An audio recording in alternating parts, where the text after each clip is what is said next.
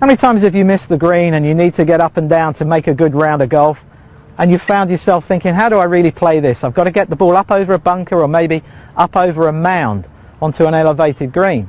Well, when you see the pros play this, they try something through practice though that they've done many times and they try to feel that when they set up and play the shot that the right palm is going to work upwards through the ball. Now to do this you're going to have to try and practice it and take some confidence with you from the driving range out onto the golf course. But the real secret to this is allow the golf club to swing.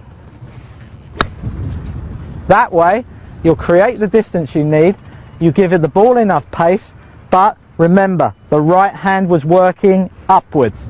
Take that next time and you never know, that might be the one that makes you win the monthly medal.